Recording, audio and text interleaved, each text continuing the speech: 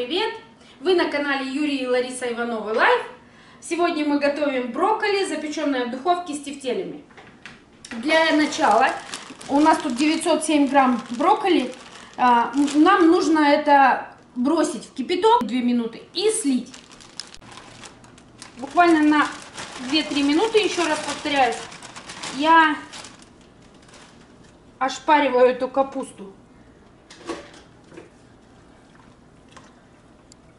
Так, засекаем 2-3 минутки и сливаем водичку.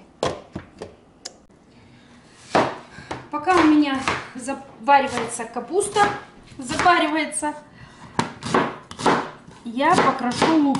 Крупно? Лук я крошу крупно, потому как он у меня будет измельчен блендером.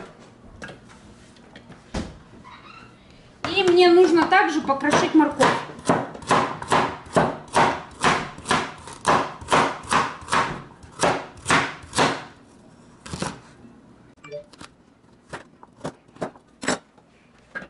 Так, всё, я измельчаю.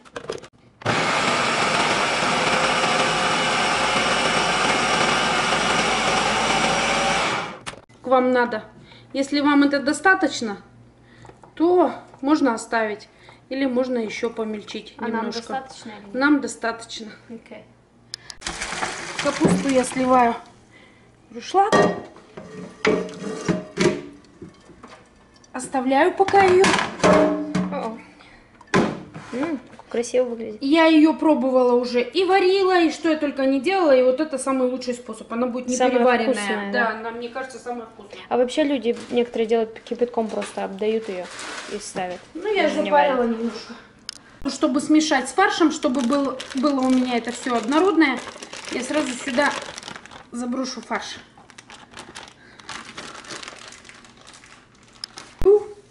Солите по вкусу, как вам больше нравится. У меня, наверное, примерно чайная ложка соли на это все уйдет. Я специями, специями особо не балуюсь. Черный перчик. Ну, иногда у меня там что-то еще бывает дома. Здесь я как бы не очень балуюсь специями, хотя тут их всяких полно.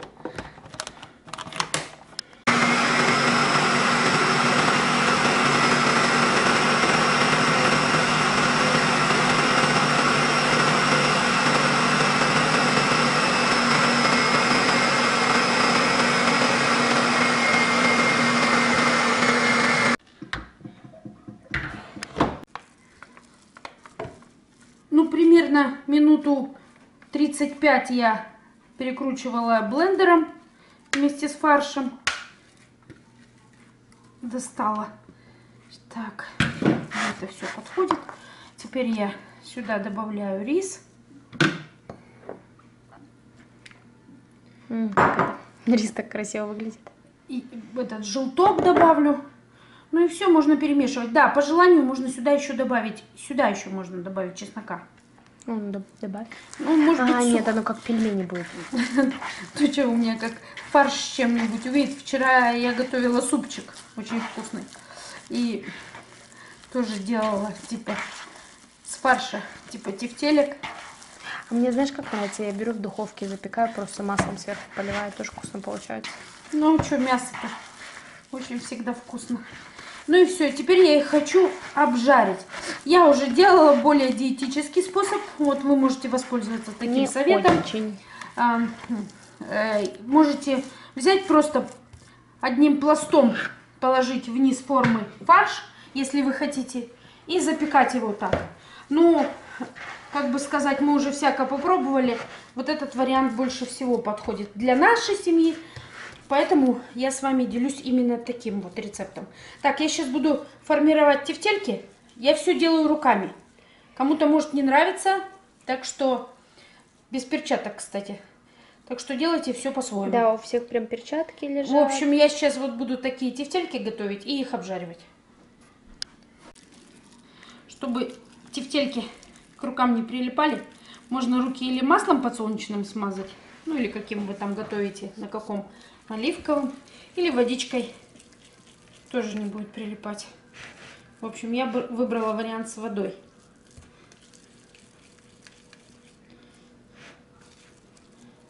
Мне не обязательно, чтобы они были все ровненькие, все одинаковые.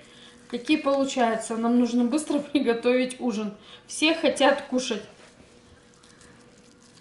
А, особенно Лев. Алекс. Так.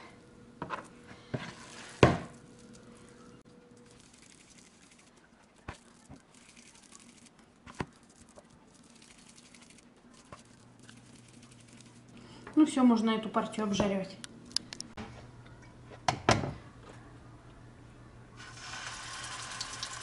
О, звук такой.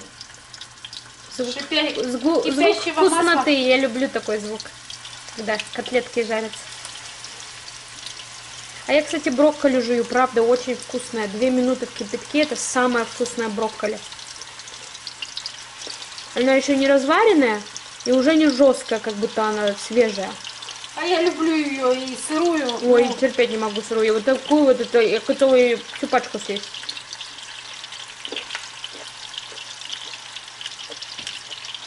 обжариваем Запашок. с двух сторон. Ням-ням-ням. Снимаешь? Я их постараюсь обжарить со всех сторон.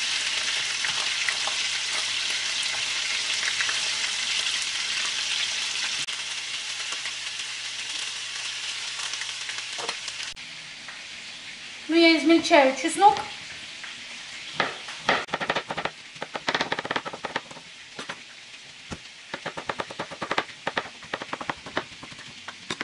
Добавляю сыр. Чтоб лишней посуды не мрать, я по-домашнему. Так, сюда же яйца отправляю. И сюда же отправлю сметану.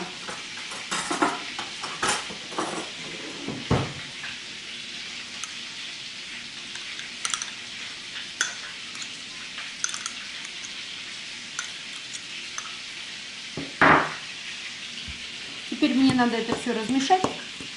А запах от тефтелей вкуснячий просто. Так, надо бежать, чтобы не сгорели. Это же я все совмещаю. Я не буду форму смазывать маслом, потому как тефтели-то в масле жарились. Сейчас с них масло будет.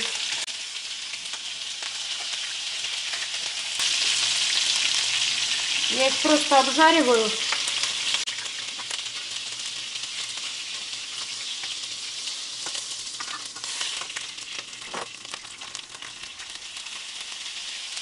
Это я соус делаю. Все, все готово. Тефтельки я приготовила. Сверху я выкладываю брокколи.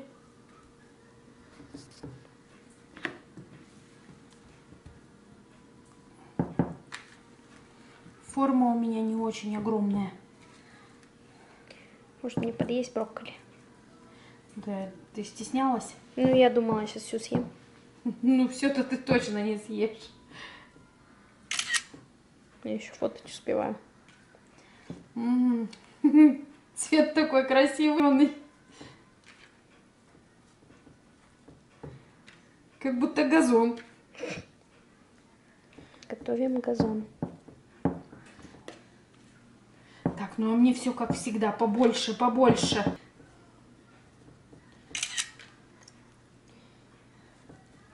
Все, дай я съем это. Все? Нет, Ты не всё. заливать?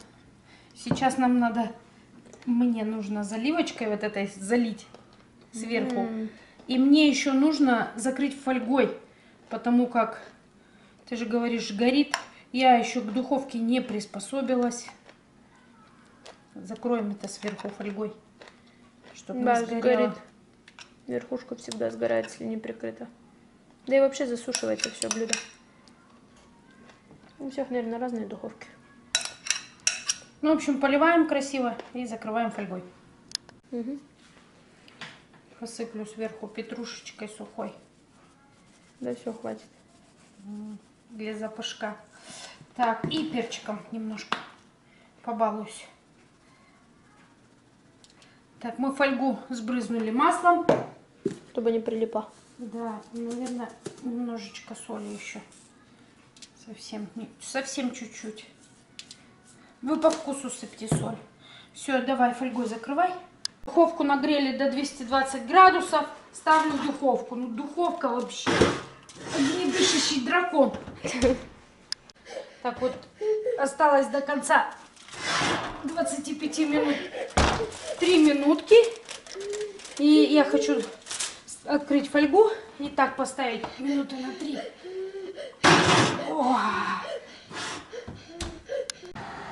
Все, блюдо готово. Осталось только разложить по тарелкам и покушать. Нам приятного аппетита, а вам приятного просмотра. Спасибо. Ну все, мы сготовили кушать. Тут нам вчера сосед наш нас вчера угостил м. Наташу. Заготовкой. То есть в Америке люди тоже У заготавливают. него огород, и он э, заготовки сам делает.